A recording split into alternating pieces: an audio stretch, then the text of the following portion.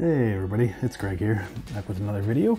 So uh, what we're doing today is a ice maker. So um, if your ice maker looks anything like this guy, um, I'll pull that head off in a little bit here, but if your ice maker looks anything like that, um, these are usually found in whirlpools, um, KitchenAid Maytag. Um, I believe this is an IC6 part number, I believe. But anyway, we'll uh, we'll take it apart, and, and this one doesn't uh, doesn't actually work. And I, I kind of wanted to find out why, but I, I never really worked on apart. So let's do that, and uh, we'll figure out what's going on.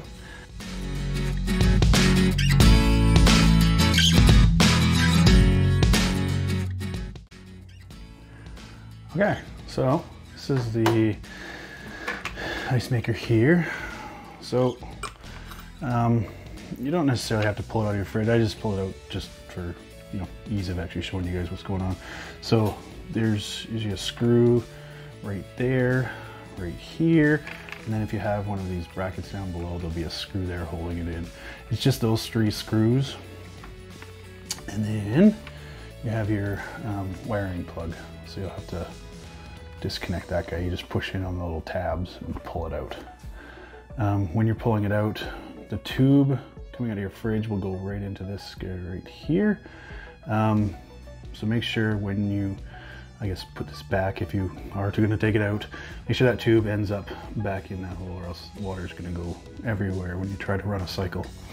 Okay, so first thing, um, you want to make sure that your freezer is cold enough or else your ice maker is not going to work. Um, so you should be um, about zero degrees uh, Fahrenheit. So that'd be, oh geez, uh, minus 18 degrees Celsius. Um, if it's not that cold, I guess plus or minus maybe about five degrees, but if it's not that cold, it's it won't make ice. There's a thermostat inside this, this head in here that measures that and it needs to be a certain temperature in order to actually run the motor. Um, next thing you'll want to find out is there's a little shut off arm here. So when you raise that up, it see how it stays up like that? That shuts the ice maker off.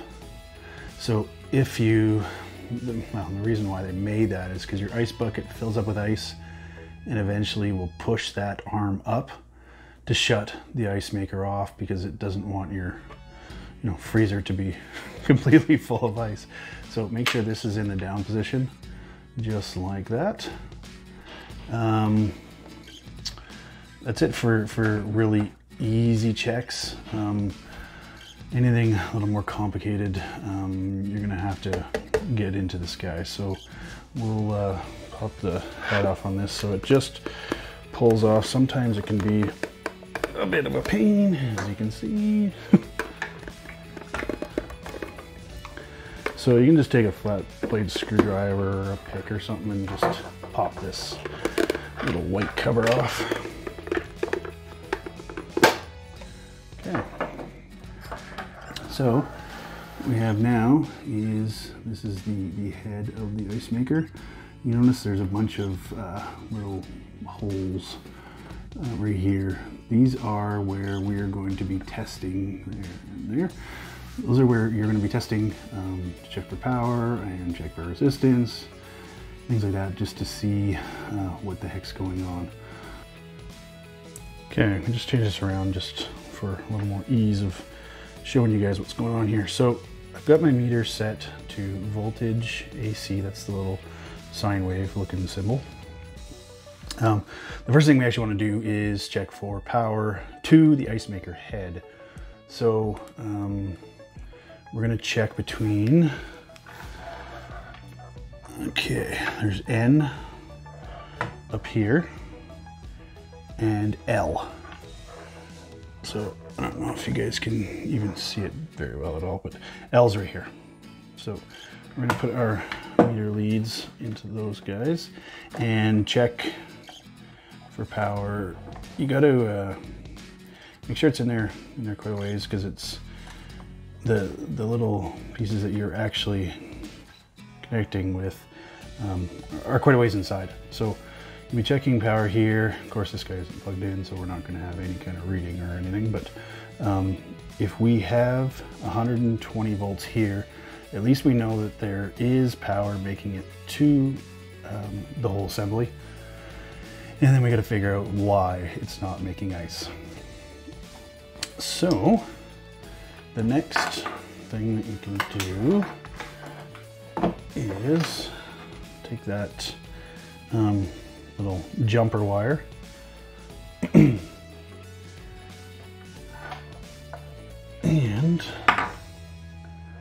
we're going to put it between H and T. So we're just gonna stick that into there, stick the other end into there, and sometimes you have to have the door switch turned off. So if you can push down um, on the door switch, wherever it might be on your fridge, um, just so all the lights go out, and then see that this guy turns. So it should start turning once this guy's in.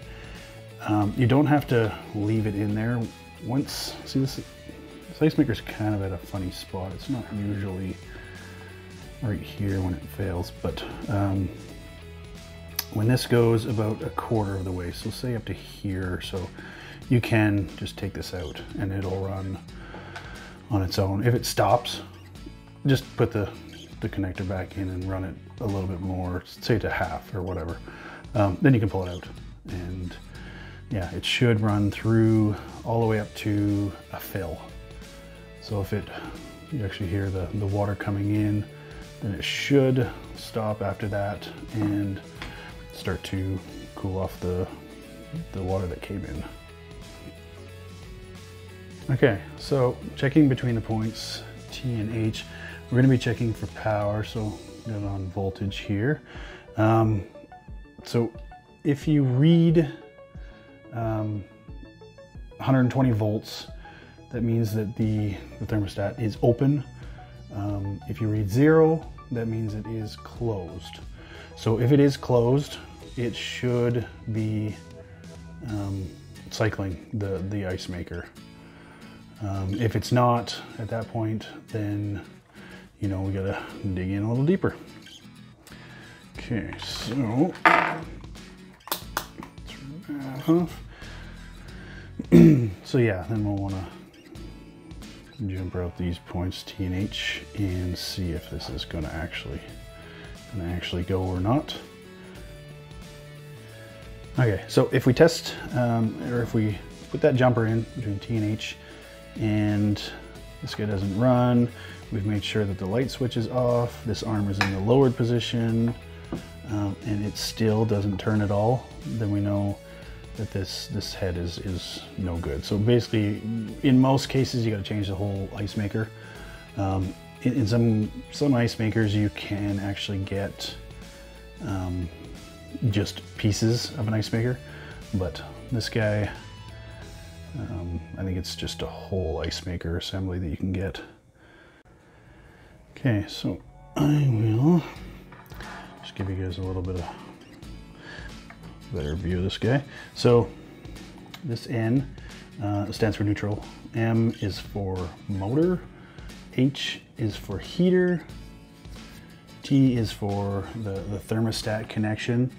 Um, L down here, I know it's tough to see, but that's for line voltage.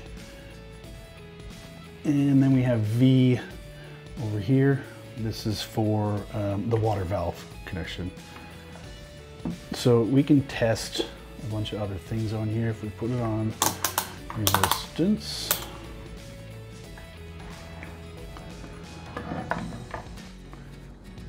Okay, so the checks that we can do, uh, just resistance wise anyway, um, we can check between um, L and H. This will check the heater. So about 72 ohms is, is kind of average of, of what you want for that heater. Um, you can check the, the motor of the ice maker. That one's a lot higher, um, usually about eight, 9,000, something like that. So I'm gonna have to put it on 20,000 ohm resistance. And we'll check between um, L and M. So um, you should have, yeah, about, about 8,800 is, is usually the resistance value I get. Um, maybe we'll test again once we take this, uh, take this ice maker apart. I can show you a little better what uh, what's inside there. So let's start doing that. Um, so I'm just going to take this head off, just these three screws here. What I should also mention too is there is a little um, adjuster right here. This will adjust um, how much water actually comes into the, the ice maker. So if you find that it is filling and it is running and everything like it should, but the ice cubes just don't seem to be, you know, as big as they used to, or they're kind of hollow or something like that, then you can adjust that up and uh, yeah, get a little bit more water to come in. Um, half. So turning that screw uh, clockwise decreases the water fill. Um, if you turn it uh, half a turn, that equals about 20 cc's uh, or 1.2 seconds um, of actual activation of the water valve. Uh, a full turn is about 40 cc's or 2.4 seconds. Um, the maximum adjustment is one full turn in either direction. So um, yeah, any any more than that and it could actually damage the, the head here. So full, one full turn from where it sits, one full turn um, either direction is, is as much as you can go. So just so you guys know that. Um, okay, let's take this uh, head apart here. I'll take these screws out and we'll look inside. All right, so we've taken those screws out. Now this should just slide back. Not sure why that's sticking. Oh, it's the the arm, the the shut off arm. So what you're gonna do is raise it up all the way and then kind of wiggle it out. It's got sort of a bendy shape to it, so maybe a little bit of a pain. But if you're going this far, it's not, uh, you're gonna have to do that because that sits right into that end right there so it won't let this this head come off so there are all the pins that we were we were testing on. Ooh, and I can I can smell already um, burnt as soon as I took this cover off. So yeah something definitely fried up in there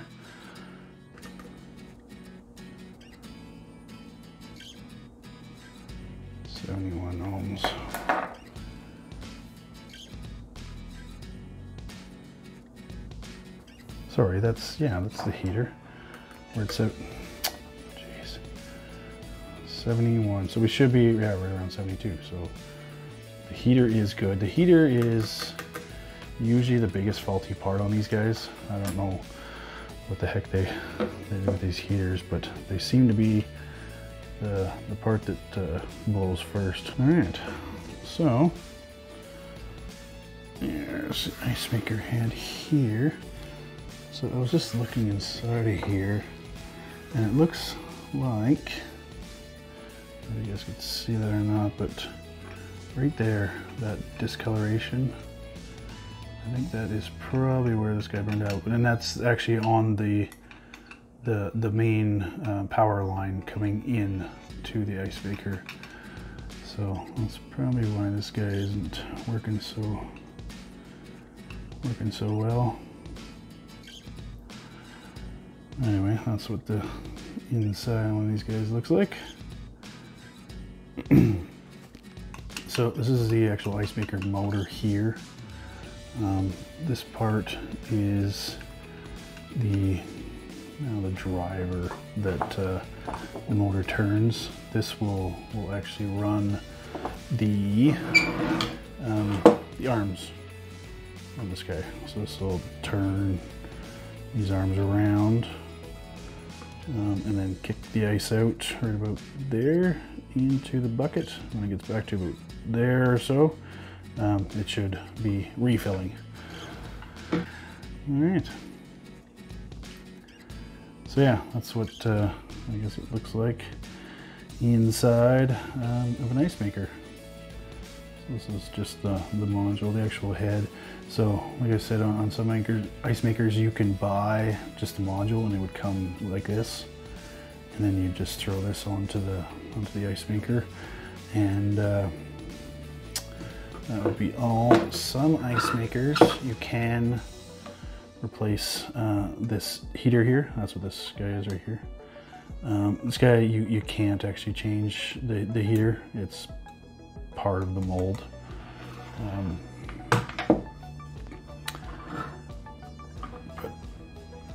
some ice makers you can also change um, these fingers because what can happen is if an ice cube happens to kind of get cocked off sideways or something and this guy keeps trying to run down but it can't that motor's still gonna just try to you know make it go down um, eventually it'll just stop because it'll it'll overheat the motor but what it can do is is bust one of these fingers or it can bend it um, I've seen that too where these uh, fingers here can get bent also um, like I said, some ice makers you can actually change change that piece too. Some you can change just about everything on this guy, but most of them you can't.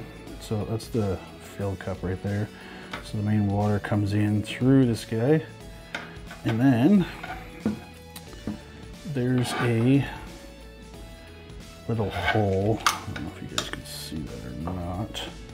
Oh yeah, right, right down here that's where the water is going to come in and fill this mold. So when it gets to a certain point, it tells the thermostat that it's, it's cold enough. So the thermostat will um, engage the motor and the, well, actually first it engages the heater. Now the heater heats up just enough to heat up this mold so the ice cubes don't um, stick to the mold. And then it engages the motor. So the motor will come down, sweep those ice cubes out of there, and throw them out into the ice bucket. And that is basically the whole, everything you possibly want to know uh, about an ice maker. Okay, so another piece that I don't actually have here, but is, I guess, considered part of the ice maker um, whole assembly, is a water valve. Um, so the water valve is going to be on the back of the fridge. If you go down near the bottom, there should be um, a cover that you can take off. Now the compressor will be in there, there'll be a fan in there, and you'll see the, uh, the water valve. It'll have a connector going to it. So what you can do is unplug the fridge, um, undo that connector, and check for resistance through that water valve. And you should have resistance. Um, then you, yeah, at least you'll you'll know that your water valve is good um, electrically. It doesn't necessarily mean mechanically it's okay. Um, but if you're sounds like your valve is, is actuating. You can hear the little buzz for about seven kind of to 10 seconds, I guess. Um, if you hear that, but you're still not getting water up to the ice maker, check in the tube that uh, will come into, into this part here. Check inside that tube because a lot of uh, a lot of tubes were um, freezing the water inside. So you can have a big piece of ice stuck in that tube and of course it's not going to want to fill. It's going to try to fill and it'll try to send water up but the water is never going to actually get into the cup here. Um, we can also check is some lines on on uh, on fridges run underneath the the fridge, and you can check underneath there, especially when you hear that valve come on, um, and you don't seem to be getting water up to your ice maker. You can check those lines and stuff underneath the fridge and just make sure none of those are leaking. Because I've seen that before too, where those those lines get really uh, brittle and will break as soon as pressure is applied from that from that water valve. So you can check that too. Um, but that that should be just about everything you could possibly check um, on an ice maker. Most of the time um, with these guys, you're going to be um, replacing the, the whole ice maker assembly. Okay, so if you guys like this video, um, hit that subscribe button because you'll you'll see um, a lot more videos like this one on dryers, washers, just about everything. Um, hit that like button too if you like this video because it's that definitely at least lets me know that you know I'm on the right track um, to well entertaining and uh, teaching you guys what I should be teaching you. So anyway, thanks for watching and uh, you have a good day.